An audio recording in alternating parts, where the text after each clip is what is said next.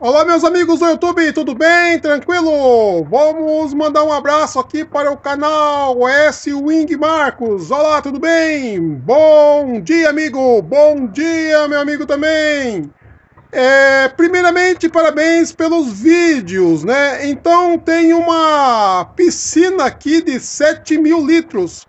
Posso colocar 700 tilápias e deixar até o final.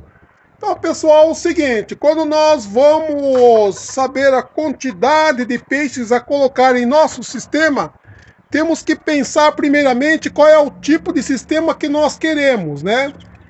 Nós tem, existe então o sistema extensivo, sistema é, semi-intensivo, intensivo e super intensivo, tá? Cada um deles você deve colocar uma quantidade de peixes, né? E eles requerem alguns requisitos aí em seu desenvolvimento.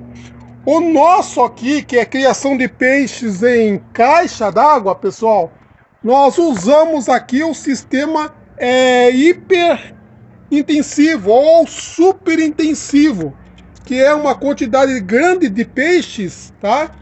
É, em um pequeno espaço, como você pode ver aí, ó, Tá? Eu tenho muito peixes aqui nesse pequeno espaço nessa caixa d'água.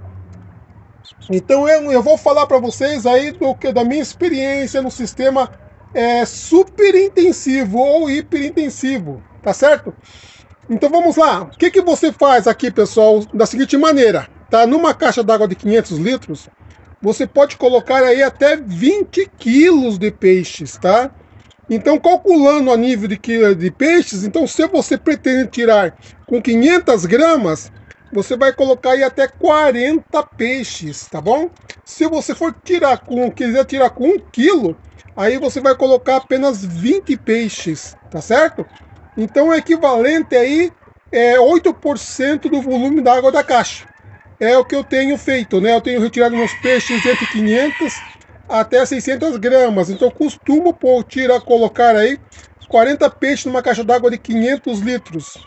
Se for uma caixa d'água de 1000 litros, como essa aqui, eu vou então colocar 40 quilos de peixes. Ou seja, se os peixes forem, se eu quero tirar com 500 gramas, ou 600 no máximo, eu posso colocar até 80 peixes. Se eu quiser tirar com 1 quilo, aí eu vou colocar apenas é, 80 peixes, né?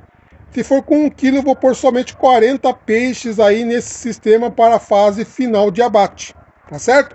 Então é isso aí, pessoal. Equivalente aí a 8% do volume da água da caixa, tá? Num sistema hiperintensivo, tá bom?